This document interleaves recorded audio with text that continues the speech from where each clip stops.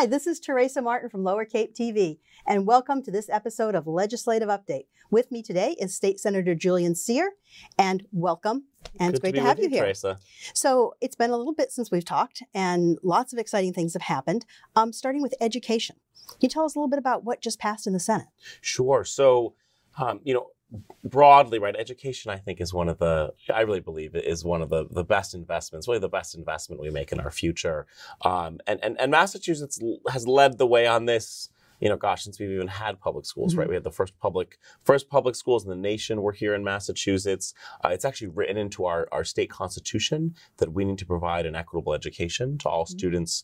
Uh, and so, what, what what's emerged, particularly in the decades since the last big education reform um, package was was signed into law in 1993 uh, was really there's a, a, as a disconnect in how the state how the state really estimates the need of a given school district um, and how the state is looking at targeting resources for the, some of the most neediest students in the Right. Commonwealth. So this has been an issue on the Cape for a while.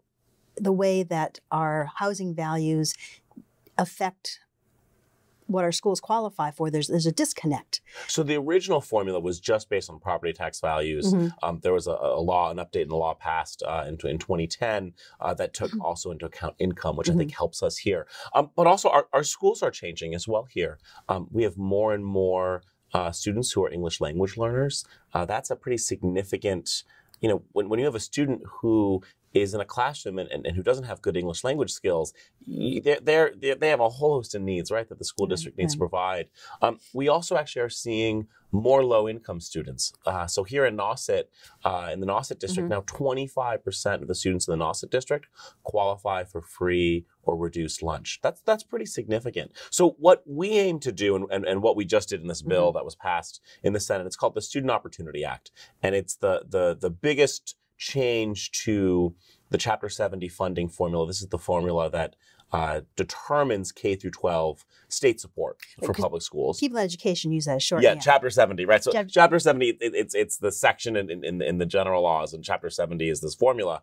Um, and so we make a substantial amount of updates to this. Mhm. Uh, first, we change how we're counting low income students. Uh, under the old formula, um, only students who are only up to 130% of the federal poverty level were counted. Now we're counting to up to 180%. So we're going to capture more children who are low income. We know that it Mhm. takes more resources uh, to educate or, or, or, to get low income uh, students from low income backgrounds Mhm. um, on par with their peers. We direct much more resources to schools for low income students, Right. uh, or not just low income students, excuse me. Um, we direct much more resources to schools for English language learner students as well. So, Well, let me ask you a Yep. question though before you go on. So, if this formula has changed and it affects us here, won't it affect every place and won't every school district now Exactly. be wanting? so it's a, it's a- it's a 1.4 billion dollar investment in education, Mhm. uh, which is which is pretty sizable. That's- uh, not every day do, do you do a 1.4 billion dollar investment. Um, it's actually 1.5 billion if you include some other uh, one-time supports. Mhm. Uh, and actually, we've been implementing this in the FY20 budget. We increased Chapter 70 funding by 300 million dollars. Mhm. We essentially are going to need to do that every year for the next seven years.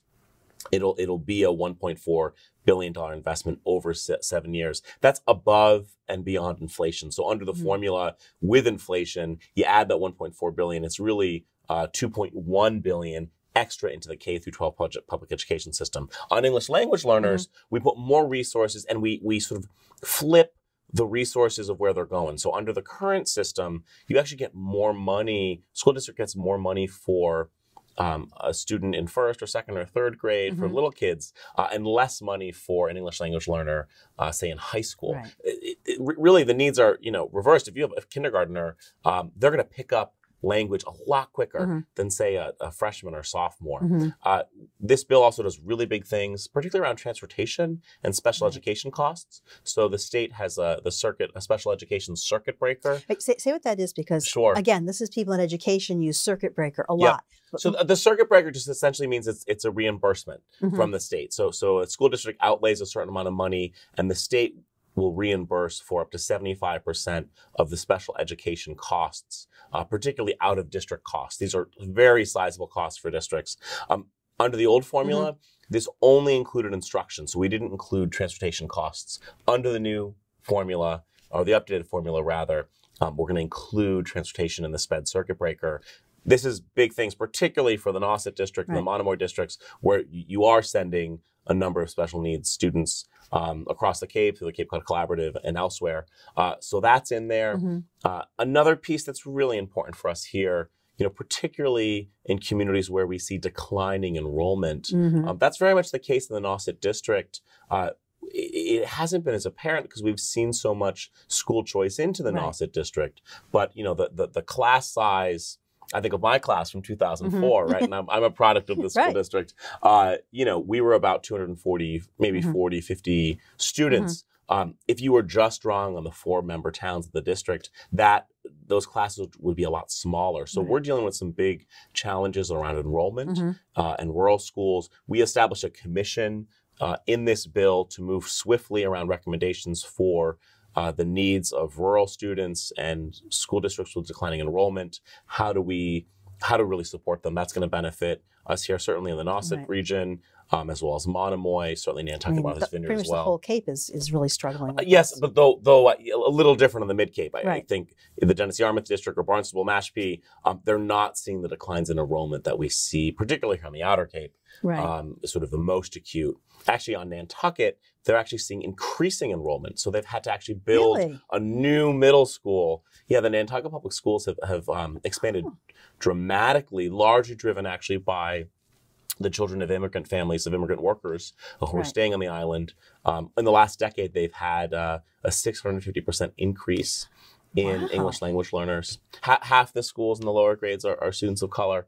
Uh, it- it's pretty remarkable. But you see that here too. Yeah. You know, I, Yeah. I go to Provincetown or, or, or Truro, you know, elementary schools, um, and and those schools are, are are much more diverse, certainly Right. than the classrooms that I grew up in, which I think is a really Right. good thing. It is. Yeah. Just when you picture Nantucket, you don't picture that at all. You have the, the you know, Well, so much of my job, right, is is you picture Nantucket or you picture Truro, right? And folks have a. Um, my colleagues know the places because they're, you know, we're a little infamous and they're Yeah, beautiful yeah, places yes. that folks vacation. yeah. Uh, but I really work hard to kind of, you know, get folks to look under the hood and, Mm-hmm. and to see what's really going on in our communities. Um, and it often is a little different than perception. Yes. Yes. Yep. So this education bill, the Student Opportunity Act, it's a huge deal. Uh, the Senate passed this unanimously. So Unanimously? Wait a second. That never happens. Yes.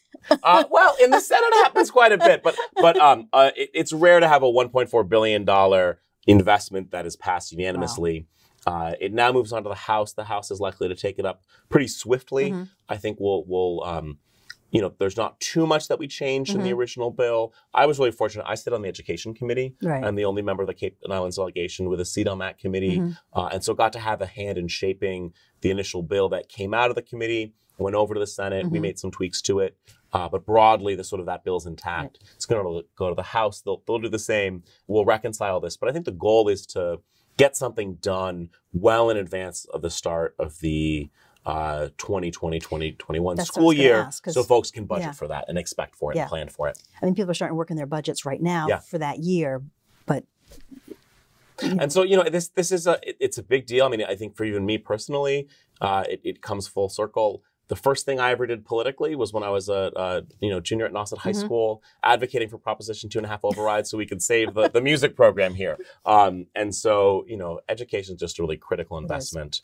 uh, and this is going to mean a lot of good, particularly for some of the most needy and vulnerable and left out kids and their families in the Commonwealth.